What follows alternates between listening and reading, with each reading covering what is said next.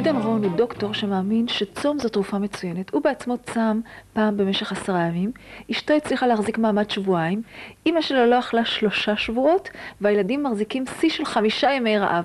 איך הם עושים את זה? איך הם עושים את זה? קודם כל, ימי רעב והרעבה אלה שני דברים שונים לגמרי. הכל מילים, לא אוכלים, בצום לא אוכלים. שותים מים. שותים מים. מים, בטח. תראי, כל בעל חיים בטבע, כשהוא חולה, הוא לא אוכל. תינוק, כשלא מרגיש טוב, מאבד את התיאבון. הבעיה שכולנו חונכנו אה, להאכיל ילד כשהוא חולה כדי להתחזק, וזה פשוט לא נכון. אז תסביר לי למה צום זה דבר בריא בכלל.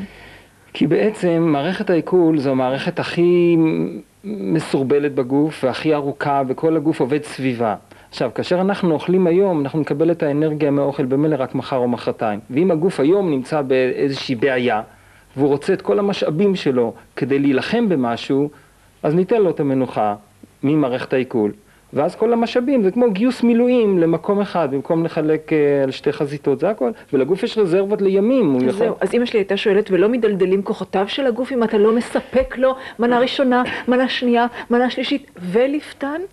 לא מדלדלים כוחותיו? עכשיו, השאלה היא מה זה נקרא מדלדלים כוחותיו, מסתבר שהאנרגיות שלנו, הרזרבה שלנו זה בשרירים, והגוף כשהוא צם, הוא לוקח את האנרגיה, את הכוח, כדי להילחם בווירוס או בחיידק נגיד, הוא, או בדלקת כלשהי, הוא לוקח את זה מהשרירים, ולכן מרגישים חולשה, אבל זו חולשה טובה, זה בעצם הגוף מאותת לנו, יאללה עכשיו תשכב במיטה, אל תתרוצץ לי, ואז כשלוקחים את האנרגיה מהשרירים אז הראש כבד וקשה ללכת, אז מה? לא כל מה ששלילי הוא באמת שלילי, הבעיה שאנחנו מין חברה נהנתנית כזאת, שאם אנחנו לא מרגישים טוב, אז זה סימן שזה גרוע. זה לא נכון, הפתרונות לפעמים הם בכלל לא הגיוניים. טוב, זו תיאוריה די מהפכנית. עכשיו תסביר לי דבר אחד. אני מבינה שאתה צמת, אתה אדם בוגר. אני מבינה שאשתך צמה, גם היא אדם בוגר. אבל מה הילדים אשמים? איך הצלחת? זאת אומרת, לקחת על האחריות שלך באמת, נניח. אה, לה- להעצים ילד? תראי, קודם כל, זה מתחיל בזה שאנחנו נורא נורא אוהבים את הילדים שלנו, ואנחנו מעדיפים לתת להם לצום מאשר לתת להם אנטיביוטיקה. וכאשר הזעתות הזה היה בן שלוש, והיה לו גרון כזה מלא מוגלה, הייתה, היו שתי אפשרויות, או לתת לו אנטיביוטיקה, להרוג את החיידקים כביכול, להחליש את הילד, לחסן בעצם את החיידקים, כי זה אחר כך מופיע עוד פעם ילד. הלכתם לרופא והוא רשם רצפט של אנטיביוטיקה? כן, אשתי הפולניה לא יכולה לא ללכת לרופא ילדים שיבדוק, אבל אחר כך כשחזרנו הביתה אז אנחנו נקטנו בשיטה הלא קונבנציונלית. תראי, זה אחריות, אין ספק, לכן אני לא הייתי ממליץ לאף אחד להעצים את הילדים שלו לבד, תמיד תחת פיקוח. גם אה, אדם שלוקח תרופות למשל שלא יצום. כשאנחנו מדברים פה על צום, מדברים על צום כדרך, אבל זה לא רצפט לכל הצופים עכשיו, יאללה תפסיקו לאכול. טוב, בוא, ברור. בוא, בוא נסביר מהו צום. אדם קם בבוקר ומה? קודם כל, יש שתי אפשרויות, או שבן אדם צם כי הוא מחליט לנקות את הגוף, פריודי, תקופתי, פעמיים בשנה נגיד, ליומיים שלושה, או שבגלל שהוא חולה, הוא קם עם חום. עכשיו, אה, באנגלית אומרים, כשאוכלים, כשיש חום, you feed the fever. כי בעצם אנחנו מאכילים כאילו את המחלה, וזה לא נכון, צריכים לא לאכול. ואם הילד, הבכור הזה, שהצמנו אותו, אגב, כל האחרים כבר צמו מאז, הם יודעים ברגע שיש להם חום הם לא אוכלים. זה פק"ל במשפחה. אגב, שמת לב לתופעה שבבוקר החום נמוך יותר ובערב הוא עולה, כשחולים. כשחולים. כן. כן. אה, מה התופעה הזו? איך אומרים באנגלית ארוחת בוקר? לשבור צום, break fast. כן.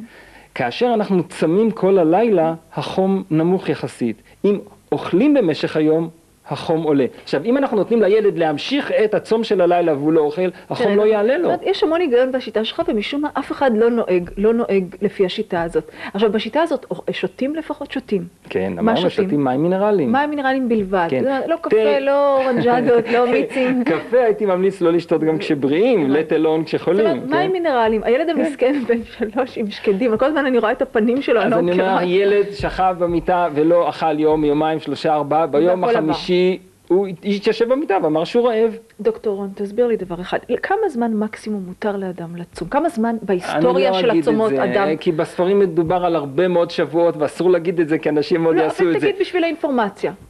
בסדר, אמרת צום. צמה 21 יום, 21 יום. אני אני מכיר שמעתי- כאלה שצמו גם 35, אבל לא כן. חשוב, והבריאו. ואחרי 35 יום של צום, אה, אדם נראה בפיקוח. אחרת? בפיקוח. נראה רזה כן. ונראה בריא.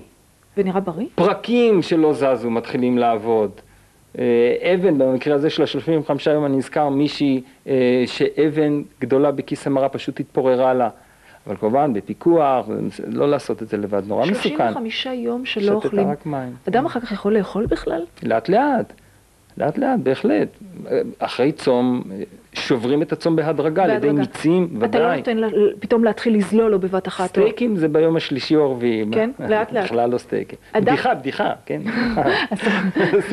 אין סטייקים בכלל. עכשיו, אני מבינה את הצד הפיזי של הצום, הצד המנטלי של הצום. אדם, איך ישכנע את עצמו לא לגעת בשוקולד, לא לגעת בעוגה, לא לגעת, מה המנטרה הפנימית? בדרך כלל מי שמגיע לצום, הוא כבר עבר את כל הקורטיזונים, או את האנטיביוטיקות, או הוא עומד בפני ניתוח, משהו מפחיד אותו, משהו מעיק עליו. הרי מי מגיע לרפואה הלא קונבנציונלית? אנשים שהתייאשו בדרך כלל מהרפואה הקונבנציונלית. וזה די מפחיד כשמסתכלים על זה מהצד, אבל כשנמצאים בתוך זה, זה כמו שיושבים על שפת הבריכה, כשקופצים פנימה מתחילים לשחות, פתאום מרגישים נעים עם זה. זה די, די משעשע. חיים בתוך זה, אתה אומר. מרגישים נהדר. סך הכל, התחושה מבחינה נפשית, שאל, זה כמו כדור פורח שזרקו לו כמה שקי חול.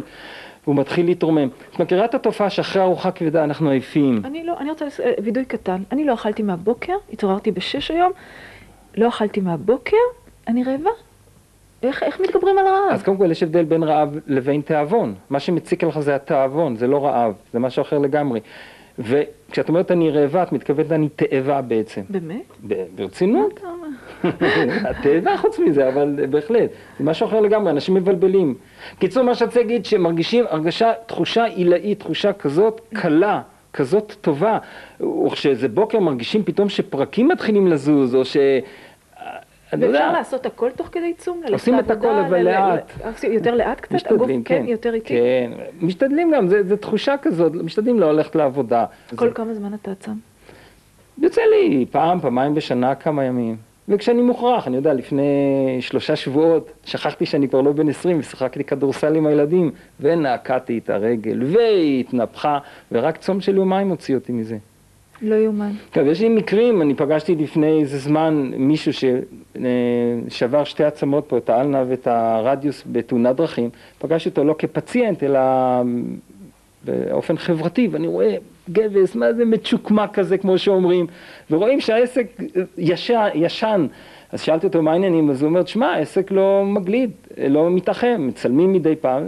אמרתי לו, אתה רוצה משהו? תרגיל, וזה צום. והוא צם שבועיים כל יום, אגב, כשמישהו צם כמובן זה כל יום בטלפון, אם לא רואים את הבן אדם יום יום, היה גם אב גוף, אז הוא גם רזה, 14 יום הוא צם, העסק התאכל לו בצורה פנומנלית. יש המון דוגמאות. זה נשמע כמו פטנט. דוקטור גדעון רון, מה שאתה אומר בעצם זה שאוכל זה עניין של הרגל ואפשר לוותר עליו, תחת פיקוח כמובן. אוכל הוא עניין של הרגל, זה מה שאני לא, מבינה ממך. קודם כל, אוכל זו תאווה, אוכל זה צורך. והקטע הוא, דרך אגב, של היכולת לצום, זה תרגיל באיפוק. ואיזה הוא גיבור? הכובש את יצרו. אין לך מושג איזה כוח בן אדם מקבל כשהוא יכול לא לאכול. פשוט לשתות יום אחד, כי כל כך מתחשק לאכול. ואני אשקר אותך אם אני לא אגיד שאיך אני חושב על אוכל כשאני צם, אבל זה זה כזה כוח לדעת, אוקיי, איך אומרים, לדחות סיפוקים, ומסתבר שמתוך זה יש אחר כך כוחות נפשיים להמון דברים אחרים, לשלוט בחיים שלנו. במקום שהחיים ינהלו אותנו, אנחנו יכולים לנהל את החיים. טוב, האמת שאני יודעת את כל זה, אבל אני משאירה את זה, אתה יודע, שכשאני אהיה גדולה. תודה רבה לך שהיית פה הערב. לבריאות, שלום.